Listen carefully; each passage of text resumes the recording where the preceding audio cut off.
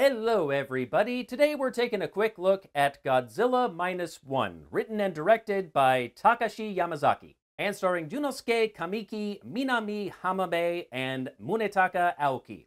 In the likely event that I have butchered any or all of those names, I do apologize. Near the end of World War II, kamikaze pilot Koichi lands his plane at a Japanese base for repairs. The mechanic Tachibana quickly realizes there is nothing wrong with his plane, and Koichi has fled his suicidal duties by feigning mechanical trouble. That night, the base is suddenly attacked by Godzilla, and Koichi's fear gets the best of him again, and he cannot bring himself to shoot the giant lizard from his plane. He and Tachibana are the only survivors of the attack, and he returns home to Tokyo to find his home a mess and his parents dead. Feeling the effects of survivor's guilt, he takes a job as a minesweeper. And he supports a woman named Noriko, who in turn is supporting an orphaned baby named Akiko. And as they are trying to rebuild their lives, and indeed all of Japan is trying to rebuild after the war, Godzilla is mutated by nuclear testing at the Bikini Atoll. This makes the already huge lizard even bigger, and he begins rampaging through Tokyo. And it's up to a crew of military veterans to find a way to stop this giant freaking lizard. This is, hands down, one of the best Godzilla movies I have ever seen, and I'm amazed it was made for about $15 million.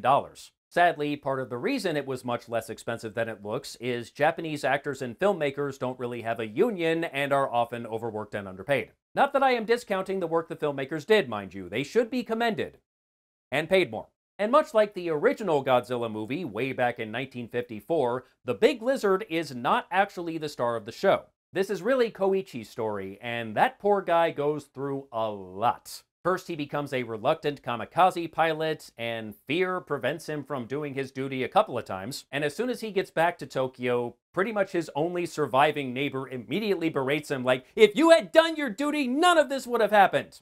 Which, you know, bullshit. One more kamikaze killing himself was not going to win the war, especially considering, you know, the nukes we dropped on Japan. What was he supposed to do? Fly his plane into the nuke? You know what? You go ahead and try that. You let me know how it goes. But anyway, basically all he's feeling is fear and guilt, and even after the war is over, the war going on inside his head is not. But then he and Noriko and Akiko form this very unconventional family, which is actually kind of charming. And he becomes very close with the crew on his minesweeping ship. And eventually he becomes involved in the mission to stop Godzilla from destroying Tokyo. And over time he is slowly letting go of all the fear and guilt and learning how to live and what he has to live for. And Kamiki's performance is fantastic. He's really good in this role. There's also a lot of unlearning the lessons that Koichi and others have been taught about what's the right thing to do, the honorable thing to do, and what they owe their country and their government. And what they realize correctly is there is no reason to die for a government that doesn't give a shit about you. And there's a really cool moment when they're planning their final assault on Godzilla,